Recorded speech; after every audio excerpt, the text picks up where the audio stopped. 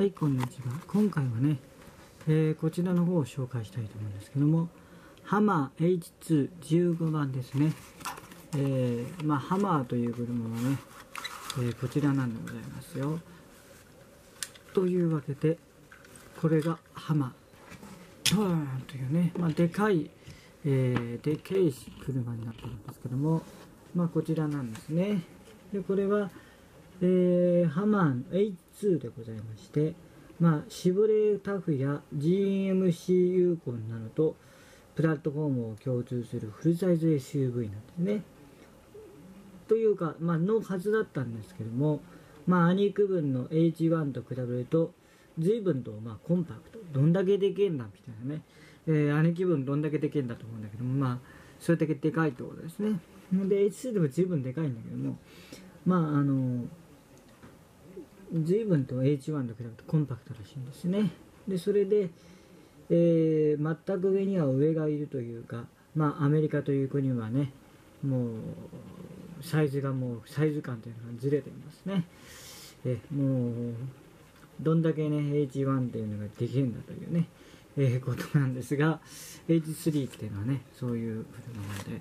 えーございますけどもね。まあ残念ながら、この H3 ハマは、えーもうブランドごと、えーなくなってしまいましたね。今ではめったに、えーまあ、まあもともと見かけることが少ない車だけにあって横でさらに数が減少して、えーかなり貴重な車になったというのがハマですねまあそうですね。残念ながら、まあ、ブランドごと、まあ、なくなってしまったんですけどもま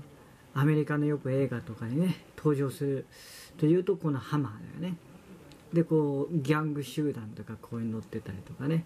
で FBI がこういうのをハマー乗ってブーってやってくるとかね、まあ、そういうシーンがあったりするんじゃないかなと思うんだけど。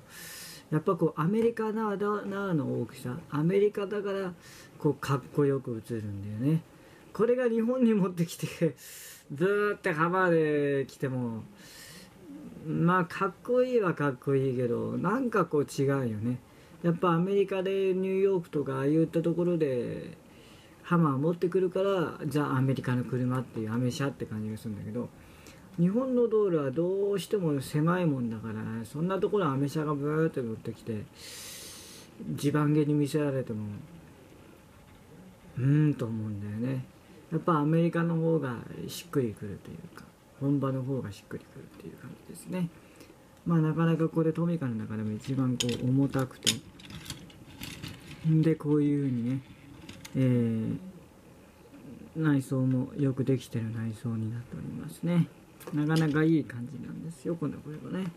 でトビカとしては2007年に出てきてるからもう10年ぐらい経とうとしてるのかな。